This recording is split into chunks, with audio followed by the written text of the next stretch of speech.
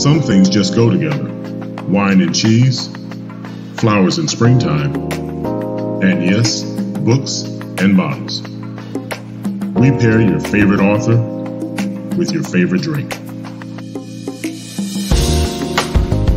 Your host of Books and Bottles, Benita Johnson.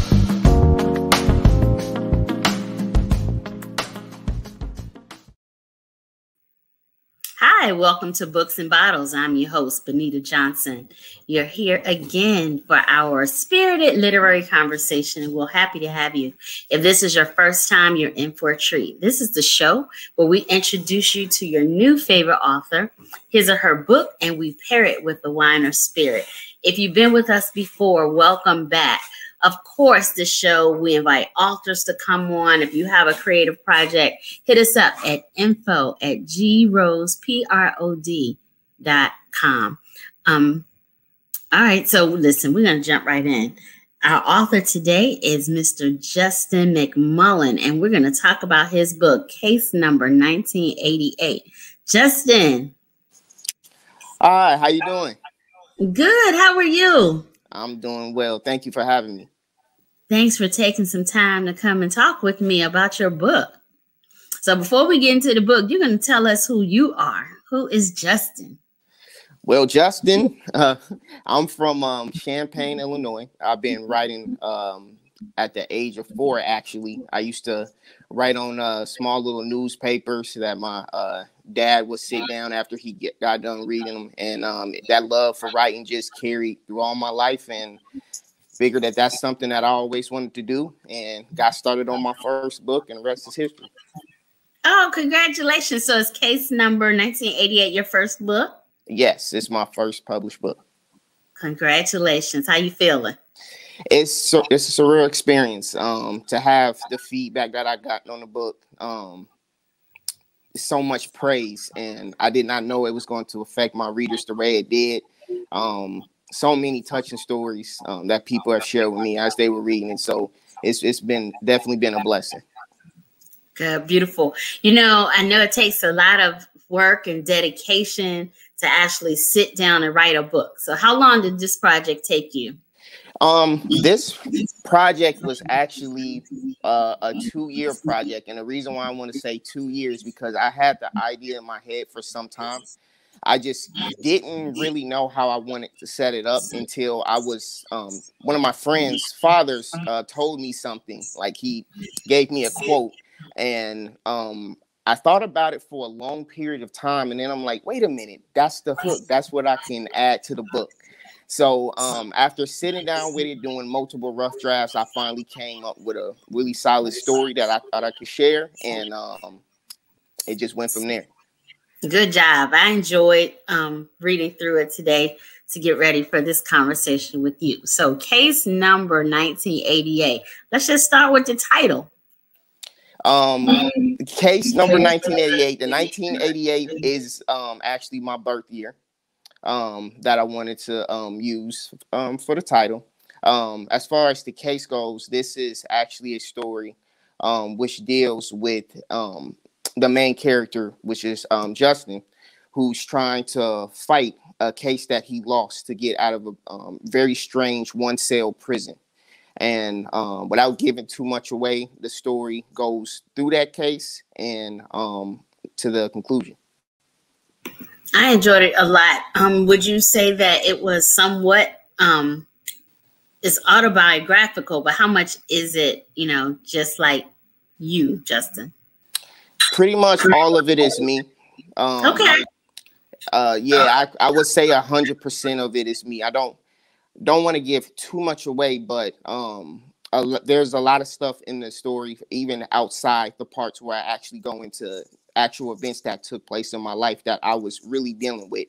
I just needed to figure out a good way to um, tell that um, in the story. So yeah, it's 100% me it does have layers. So, um, like when I was reading it, you know, I could tell it was, you know, a story, but like some of the the characters in there in the beginning, I couldn't, you know, I was like, okay, are these real, you know, people in the flesh, or is it something that he's dealing with internally? And I don't like to tell a lot about the book either because I really want the readers to read it. So mm-hmm. um, just without telling too much. I mean, how do you kind of write? It's kind of like you were kind of in an internal struggle. Yes. Um, when I was reading um, autobiographies, um, I noticed that there's a lot of um, external struggle. And what I wanted to do was tell an internal struggle because that's where a lot of the, you know, the issues that I was dealing with um, come from. And it, it was hard to convey that because I didn't want to lose the readers. I um, Nigel, especially who's happens to be everyone's favorite character, who I always get uh, messages about, is um, is extremely important to that. Um, he believes that he's a form of protection, and actually he becomes something else um, as the story goes along. So as you as we said, don't want to give away too much, but um, I'm very very familiar with Nigel and Peter. I would say uh, personally in a in a certain type of way. So Peter is definitely my favorite um, because wow, you are the first to say that. I mean Nigel and I, and what you just said about Nigel, you know, feeling like he's the protector, but Peter was kind of like to me. I found him to be the character that was the one that kind of exposed you and kind of allowed Justin in the book to kind of make it make his own decisions. Yes. Of allowed Justin to be be a grown up. Yeah, he yeah. Peter was um the character that I always said Nigel was probably the hardest to write, but I had to really figure out a balance for Peter and what he represented, who he was, and the effects that he had on um, Justin. Because at the start of the story and throughout most of the book, he has little, little to no power. Um, Nigel holds the power in the prison. Um, everything flows through Nigel, and while Peter does do his job per se in the book, the influence that he has is just not there, and which forces Justin to like push him away and just gravitate more toward the quote unquote protector of the story, which is Nigel. Okay, I can see that. And um, like the other character, Miss Lawyer, Mm. Um, you know, she kind of what that character represented, what which I like, it wasn't revealed until very close to the end of the book of the mm-hmm. story. So how yeah. challenging was it to write in that that female perspective too? But she, she was professional. she was still, you know, maternal almost. Yeah, she is definitely um, a mother figure in the story. Um, she was. I really had to sit down and take the lessons from the strong women I've um, learned from in my life, and um, I, I don't I don't want to give it away, but she she I would say she's the heart of the book.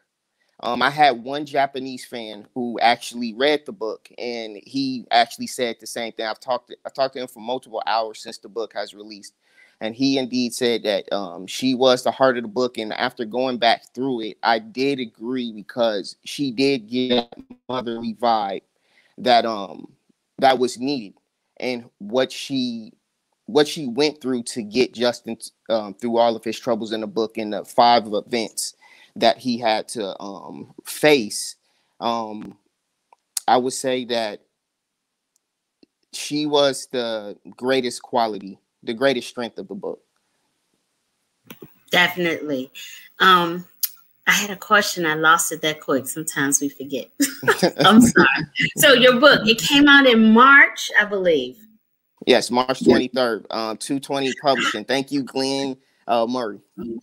Yes, Glenn. We have to praise Glenn. April um, is his birthday month, so all you know, we got to tell everybody how great he is of 220 Publishing. Yeah, so. he only gets one from me in this in this interview. He only gets one. Thank you, Glenn. so, how has the book done since its release? I guess by the time viewers see this, this will be out about a month or so. It has done amazing. Um, Glenn actually told me one more uh, one morning that it's the third fastest selling book in a two week span in uh, 220 publishing um, history. So that was big for me. I was really nervous on how it was going to do, but I'm so glad that word of mouth got out. Um, Glenn has been doing well with um, advertising and make sure that people actually see it. And the reception has been beyond my wildest imagination. So it's it's it's definitely a blessing. It's been doing amazing. Congratulations. Do you have a copy with you so you can hold it up? We like to show yes. folks the cover. I love the cover. Um, you know, it's funny how um like we we have our own images of what people look like, you know, in the book. And you know, it's interesting. Um, Nigel looks like Nigel. yeah. Um I actually had I worked with a guy named Dylan who's actually from the Philippines. He actually um, worked with Disney and um, it was actually I was actually really lucky to find him, and I've just started showing him the characters, and I was like, well, what do you think? What do you what do you see? when um when you read about these characters and he drew up some sketches and we just we came up with a, a plan and we was I was like I'm going to insert this in the book so let me rewrite certain things and um it was amazing so shout out to him he did everything I asked and I couldn't be happier with the art the art is awesome. Um, so we're gonna bring on. We have a guest today, our uh, partner in spirits, Miss Marcia McCall of Bubbles and Bourbon. Hey, Marcia. Hello, hello, hello. Hey, Marcia. Welcome back to Books and Bottles. Thank you. It's great to be here as always. pleasure. So, what's going on in DC? Well, DC's having really strange weather. Like it cannot decide if it's going to be spring or go back to winter right now. So it's very windy. Oh yeah, I'm not far from you in Richmond, so yeah, if we get that too. So yeah. what are you pairing with with case number 1988 today? So I am pairing a bottle of bubbly because it is your first book it's rose season, so we gotta pop a bottle. Congratulations! Thank you so much. Eight was a good year. I can relate. What a wonderful time frame. Um, so I'm doing a Southern Rhone Rosé. It's like really mm. delicious. It's one of my favorites. I know, Justin, you're not a drinker, but um, it's a blend of Grenache, Syrah, and so so it's really fruity and vibrant, perfect for spring when it decides to come. But I believe in rosé all year round, so you can pair with barbecue, chicken. All the great usual suspects, tuna tartare, and if you are into veggies, try some rosé with tomato basin, like a basil bruschetta. I, I love rosés as well, and I, I drink them all year. Yes, cheers to that. It's the best time to drink it. It's like the like uh, besides white wine, it's the easiest drinkable year-round wine. You know, it just really doesn't matter the occasion. You, rosé can literally go with anything. You can have it for breakfast, lunch, dinner. It doesn't matter breakfast. Huh? Love breakfast rosé. yes, breakfast rosé. You gotta start today for champions. Have some Cheerios and rosé. You know the um, you would drink the um like the pamplemousse wines, the pamplemousse, um, mm-hmm. since it has that grapefruit essence. Yeah, I always I love it in place of a mimosa. Really? Okay. I mean, I it's going off a little hard for me but I like to ease on into the rosé. So I like try to stay consistent. If it's a wine day, it's a wine day. Then I'll switch it up to spirits towards the end of the day so I can just sleep easily. I hear you. How does how do our, our folks find you, Marcia? And what what do you do? Tell us what you do. You don't just sit around and drink bubbles and bourbon all day, do you? Not all day. I do something. um, so Bubbles and Bourbon is a tasting story experience. Um, I provide education educational tutorials. I do tasting stories. So if you're interested in doing pairings, if you want to do like food and wine pairings, I can hit you up with that. I also sell wine with One Hope, which is based in Napa Valley. Um, I love teaching, so I do a lot of tutorials and classes that's like geared toward blacks and whites. There's a lot of black culture and why coming up. I mean, there's over almost like almost a hundred really of blacks and spirits and blacks and wines in a combo. Like we have our own tequila now that's DC based. Like we have our own wine. So it's like I am just cheering everyone on and trying to get the word out and teaching everyone about wine. And I'm also bourbon certified too. So I got it all, bubbles and bourbon. you are you definitely a pillar in this um, Black wine community, and we appreciate you. So, how yeah. do our viewers find you? And you know, they want to book you to teach them or do something um, with them, whether it's live or virtual. Yeah, so I've been doing a lot of virtual events since the pandemic. So I mean, it's safe for everyone. I know everyone's getting their vaccine. So um but I think it's still good to do virtual events just because I know everyone has different COVID restrictions and how many people can be in capacity. But you can find me on Instagram, bubbles underscore in underscore bourbon. And then I'm on Facebook, Bubbles and Bourbon. But you can just Google me too, Marcia E. McCall, and you'll find me also. Thank you. So you're gonna hang out with us for a little while as um, Justin yeah. and I continue to talk about I'm Enjoying the stories. I'm here for the stories. I'm relaxing. It's the evening. I will be here. Thank you. So just hang out. So Justin, I have a question for you. Mm-hmm. I know um, I've talked to other authors and they talk about, you know, writing their own stories and how hard it is because a lot of times people are thinking, um, why do I want to write my story and why does anybody care about my story? So what made you want to mm-hmm. write your own story? Um the biggest reason was as the story starts off as with me in middle school until I um graduate. Um that's I wanted to reach out to kids or young adults um and let them know that it you know it's it's cool to be yourself. It's something that I had struggled with for a while and um I wanted to tell a story of someone who lived in that fear, who lived in that anxiety, and I wanted people to understand that um, your past shouldn't imprison you. And I, I had to add an element to that to get people to read it. And um, because I asked myself that from the beginning, how why would people want to read this? And how can I explain it in a way that they get the external as well as the internal? And I think that we were able to achieve that.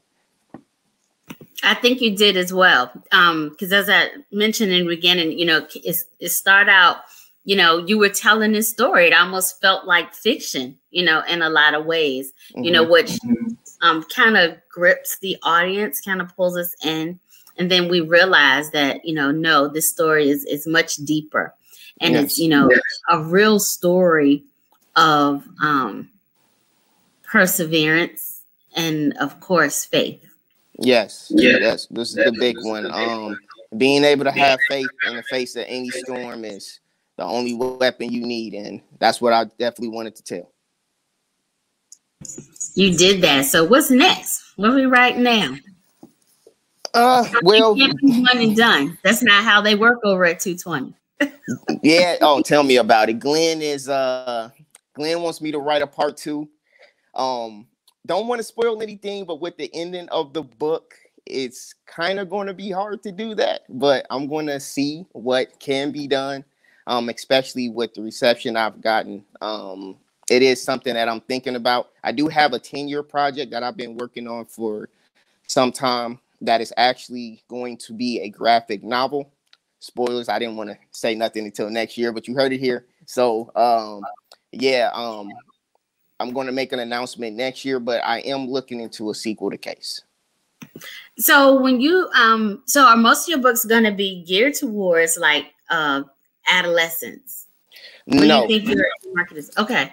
No, I think that um Case is the only well, I want it to be the um only book that I write like that. Um it was very it was a very personal book. I was actually really afraid to put that out. Um while I was writing it, but um, now that it's out and people understand the story, I, I want to be one and done, but we'll see what 220 says. I say Justin share your story. I mean, no one's gonna know your story better than you. Is your message in a bottle, just like wine. Open it up, let the world see. Let's all get a taste. Don't stop at just one vintage. Keep going. Uh, we'll talk. Unfortunately, I got to talk it over with Glenn, and he's going to say yes. So yes, because I, mean, I think I think you're just a tremendous storyteller, and you know Thank the you. way you kind of pull us in. And when you mentioned graphic novels, I um homes I was a homeschool teacher for my boys, and you know it was just hard for boys to to get them to read, especially some of the you know the pre preordained reading list that they would put out for young boys. It was nothing that interests them. Mm-hmm. And I think, mm-hmm. you know, with the way that you wrote this book, it de- it's definitely of interest to boys, especially African American boys. Um, and when you mentioned a graphic novel, that was the only way I, that was how I started my boys wanting to read through graphic novels. Um, that's why I asked you the question about your market and what what age group you're you're looking at. Um, I want to go to uh young adults, teenagers. Um, that's what my graphic novel will be um geared to. Uh, I grew up. It's funny that you say that about your uh your children. Um, I grew up reading Japanese manga. Um, my dad would go to every Sunday. We would go to this store, and he would pick up like small little comics for me, and I would um, take them home and read them. So that's how I really got into reading, and then I moved on to novels. So, and while writing this book, I really wanted to give a visual aspect. This, which is why um, a lot of our, our advertisements are actually based on um, Japanese animation. So I, wanted to grab people and uh, pull them in, and the story is very descriptive. So they you do get a visual of everything that's going on. So I really wanted that element in the case. So who who influenced you? Do you have any favorite authors? Um, Akira Toriyama. Um, he's the uh, creator of Dragon Ball. He actually does do novels as well. Um, I'm really really into his work. Um, I would say without him, I would have never started writing. Um, so he's he's probably the person that I uh, spend the most time um, whenever I'm reading. Very good. So, what do you think? Um, do you watch? You watch TV? You do a lot of TV and watch movies? no, actually, I don't which is okay because i was going to ask you like you know about like the way some of the movies are coming out now. Some of um you know you take like justin peele mm. or uh i can't think of the other person name the guy who did uh little somebody who did them you know just some of the way these stories are being told. Um your book you know it kind of felt like that a little bit you know the way they're telling these stories about our personal pain um, so that that was why I asked you, you know, do you watch TV? Because I wanted to know, you know, how you felt about some of those types of stories, like um, Get Out would be one, or Us, you know, something like that. Get Out is is a amazing movie. Um, I do like the fact that Jordan is not afraid to take risk. Um, he's actually he does a lot of stuff think that he get out idea. We're having a little bit of technical difficulties. You're kind of freezing up a little bit, just kind of freezing up. But while while while he's working that out, I just want to let our, our viewers know. Um, look for case number 1988 by author Justin McMullen on Amazon. Um, you know, if you have a Kindle device, you can download it and read it on your devices, or you can order the hard copy of the book. Are you back, Jordan? He's coming. He's coming. All right, well, we got to look since while we wait, we're gonna go back. Let's talk about you know, I found um speaking of rosé, since we were talking about one today, mm-hmm. I found a really nice sparkling. It was a it's a cava, okay. but it's made from Pinot Noir grapes. Yeah, yeah, that's yeah. Because I mean, I was, you know that like the skin color just comes from contact. So Pinot Noir is a common grape to make some rosé out of, just because it's a lighter skin grape. Yeah, and it was really good. Um, because I couldn't remember having if I had any a sparkling Pinot Noir from Spain. I, I think that may have been my first one. That was oh, a Pinot Noir. I've had plenty, but no, okay. I rose all day. But Spain is kind of like my second love. Like my first love of wine in the intro was um, Argentinian Malbec. So I was like more fruit forward in the beginning, and then I really started venturing off into like Spanish wines and everything like that. So I do love rosé. Spanish rosés are fun. I mean, rosé is really fun, honestly, because if you think about it, you're taking all these like red grapes and um, you're just blending them, maceration, and you're just kind of playing with the skin contact and the flavor component to see what's going to come out of it. Like some rosés can be really light, some be really dark. It's just really fun because you're never going to know what you're exactly going to get. I mean, a lot of people like dry rosés, but then you have your sweeter ones. But it's just a fun varietal that everyone can play with. I love them all. So Justin's back. Hey, welcome back, Justin. Good.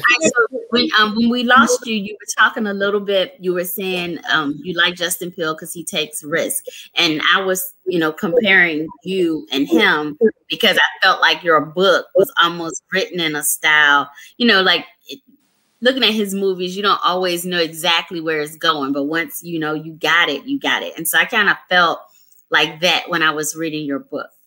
Yeah, I did use that element of um I took a page out of his book.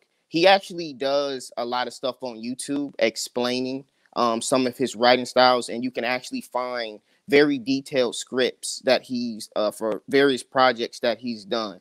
So um adding that element of mystery and slowly giving breadcrumbs that you know connect a bigger picture is something that I really wanted to uh to do because you don't want to just flat out just tell every tell like uh, especially with Nigel and Peter. Um I thought I gave away too much at the beginning, but um unfortunately my readers by the end of the book they were like, "Yeah, we got it. We we definitely understand now."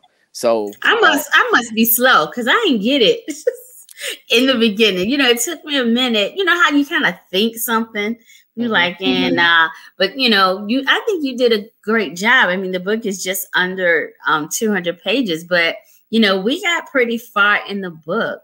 Mm-hmm. Well, at least I did. You know, before before you know putting all the pieces together and kind of you know figuring out what these characters what are who they represented. Yeah, I was yeah.